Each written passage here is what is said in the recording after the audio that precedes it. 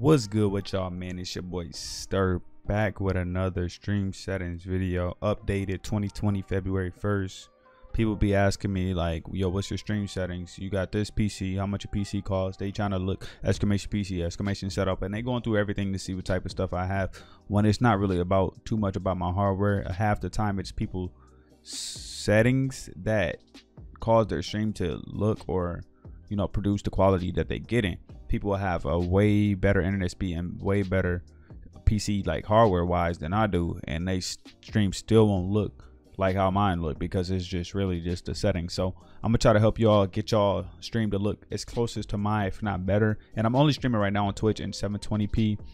And I will talk about Twitch and YouTube because YouTube lowers your bitrate than from what it is already.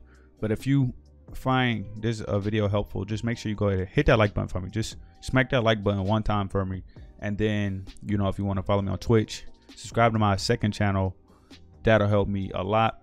And let's pretty much go ahead and get into this video. So, first thing you really want to do is go ahead on here and open up speedtest.net. That was already open, but I'll just really type it in. Link is in the description. Open up speedtest.net. Then you want to just hit go. Once you go, it's gonna give you a ping, your download, and your upload speed. The main thing you're really worried about is your upload speed. So that's gonna tell you how fast you can upload to the Twitch or YouTube server because you're not downloading content, you're uploading content for everybody else to see. You're live streaming. So that's what you need to be focused on. And anywhere between like anything over around like three megabytes per second on upload, you'll be able to stream. If you got like 10, anything above 10, then you're fine for like 1080p streams then you'll be fine. But the main thing people do um wrong is they usually have the wrong bitrate or encoder settings. So this is my settings ping. That's not even the best, but that's pretty much what I got for now. So after you get that, the next thing you want to do is you can go ahead and close out of that. And I know mine, so I'm gonna just go ahead and go as if I'm doing this fresh and new. So after I do that, the next thing I'm gonna go through is showing you how to see what kind of CPU, if you have a pre-built, you don't even know much about your PC, try to see what CPU you have. You may know what GPU you have. You just go to this screen. You just want to hit this PC if you don't know. You just hit the start button and just click on anything where it's like a folder or hit documents right here to be right here. Then just hit this PC and right click on the open space and hit properties. And then it's going to show you processor AMD Ryzen 5 2600 6-core processor 3.4 gigahertz and I got 16 gigs of RAM. Your RAM matters, but it's not as much as your CPU or your hardware. That's more so when you're playing actual games that it will affect your stream because it may be pulling too much RAM. You know, the random access memory, which is RAM, it'll be storing it depending on the game. If it got a lot of like random shit in the background that's not really rendered or whatever. All right, so you close that out. And then for my GPU, open up GeForce Experience. For you, it'll be the same spot if you have an NVIDIA graphics card. If you don't have an NVIDIA graphics card, then I don't know too much about the specs, but you can always go to GPU benchmark and pretty much see like the strength and how strong it is compared to other stuff. So, or I could have just went here and it would have showed me the whole layout, but it'll say my rig right here.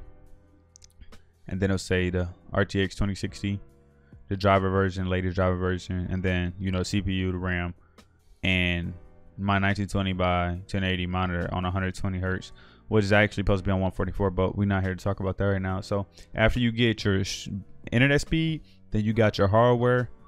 You want to go ahead and make sure you open up your stream settings. So right now, I'm recording, so some stuff is not going to be visible. It's going to be grayed out, but I'm going to still show y'all anyway.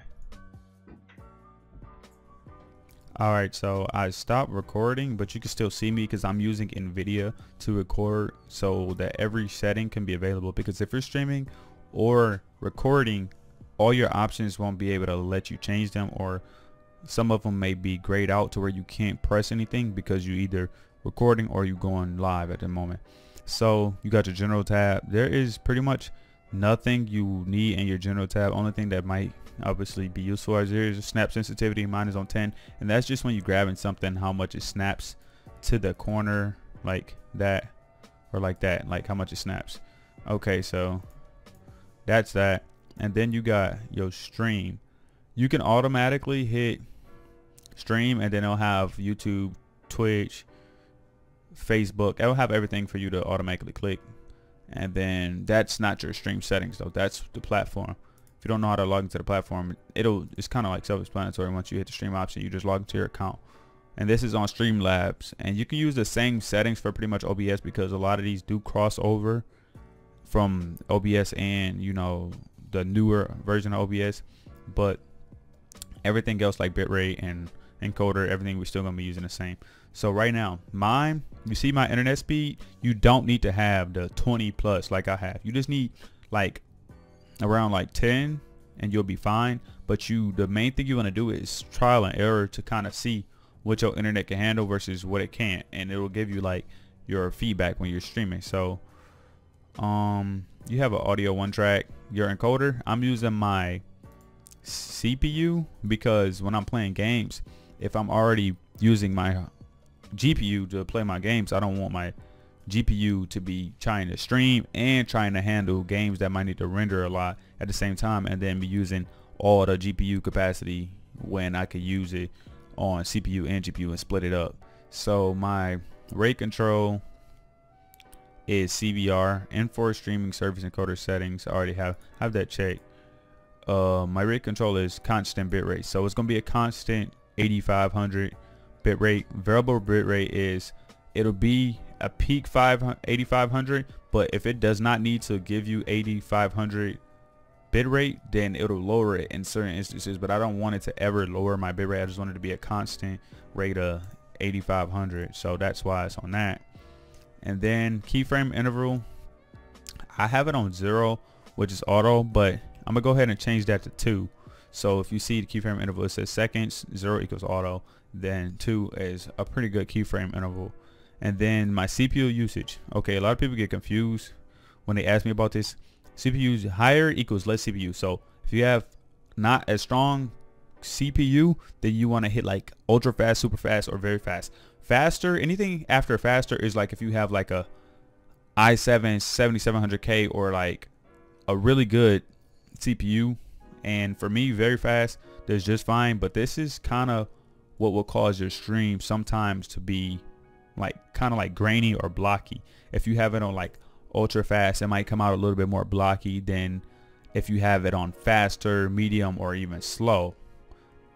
And I'm gonna just keep it on very fast right now. I don't need to stress my CPU more than it already is right now. Even though I have a AMD CPU for a reason because it's able to multitask and I have six cores instead of four just so I can have extra for when I try to stream. My profile is is just normal and I have tune to none and then X264 options. If you have any separate options, we're not going to go through that in this video, but you won't need to use those right now. Audio, I have everything on audio is default. My video, 1920 by 1080. The canvas resolution is usually you want to match it to the resolution of your monitor so that everything fits the screen. If it doesn't fit the screen, you can hit right click, transform, and hit fit to screen. If it's not the same resolution, you would just hit transform, fit to screen, and you'll be boom just like that. You'd be good. Then the output scale resolution is your resolution that you want to stream on. You want other people to see the resolution that when people come to your stream, the max resolution they can watch a stream. If you want a 1080p stream, then you would type 1920 by 1080. If you wanted a uh, stream higher than 1080, if the platform allows that, then you would type in whatever the variables, the numbers for that resolution, whether it's, you know, 3840 by 2560 or 4K or whatever it is for like the platform, then that's what you would type. And if you wanted to like type like A64 900, 1600 by 900, 1440 by 810. If it allows those resolutions, then that's what you'll click. But I'm gonna keep mine on 1280 by 720 just because certain newer viewers as a smaller streamer, if you don't have very good internet and newer people trying to watch you, it may cause their stream to buffer because it'll automatically be trying to prompt them to watch you in 1080 or 720p if you are not an affiliate and on Twitch and it automatically gives them the base resolution that you were streaming in. Downscale filter is when you see like the blockages in your streams, they clear up the you know like the the blocks and the pixels clear up is faster when it's like a still frame than having like a sharp clear frame of like 16 samples. I have mine on fastest because i play games that move like at a fast speed. If i'm playing something else and i'm just playing like a game where you don't need to you know i'm not doing as much moving as fast i might put it on sharpen scaling but i never use uh the 32 samples because it's not necessary. So see the bilinear if you're playing a fast-paced game or bicubic if you want the frames to look just a little bit more crisp and sharper and you're not playing a game that's you know as fast-paced. Okay so the FPS is just comma FPS and this is how you put your FPS you either want to put 30 29.97 or 50, 59.94 which is also 60 frames per second if the platform can handle that. Hotkeys are your personal settings. My video color format is just NVIDIA 12 NV12 uh 601 YUV color space. The car YUV color range is partial. Recording default. Replay buffer all this stuff is default. Stream delay is 20 seconds but I don't have it enabled. That's if I have a stream delay and then all of this other stuff is all up to you. So that's pretty much for the stream settings. That's all you would need to for the stream settings.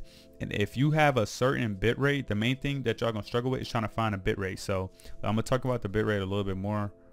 Output let's go back to bit rate okay 8500 is a pretty high bit rate and I would tell you if you have like a bit rate that is below if you have an upload speed that is around like let's say three to seven then I would go for like a 4500 around 5000 is usually what I try first try 4000 and I go up to like no more than like 5500 if you're streaming on Twitch because a lot of viewers can't even download if they don't have a fast enough internet they can't even download the speed that you're I mean the bitrate that you're streaming at anyway. So it's just going to give them a lower resolution of that stream.